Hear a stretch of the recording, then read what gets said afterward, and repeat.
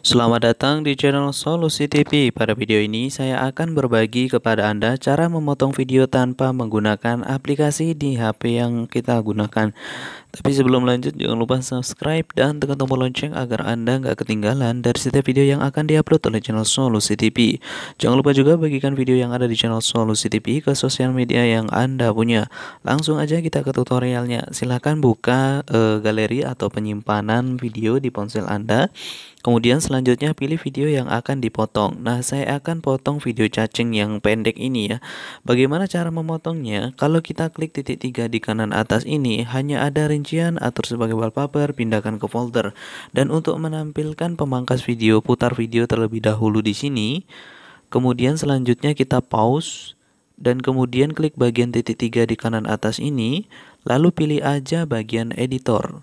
Dan di sini kita bisa memotong video sesuai dengan yang kita inginkan. Kalau ingin lebih bagian potong yang di belakang aja, maka kalian geser aja untuk bagian yang sebelah kiri ke kanan. Kemudian selanjutnya pilih simpan.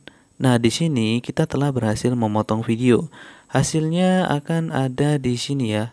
Nah, ini durasinya lebih pendek daripada video sebelumnya karena tadi kita udah potong.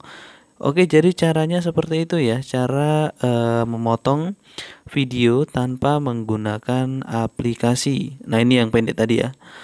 Mungkin itu saja untuk video kali ini, semoga bermanfaat. Sekian dan terima kasih.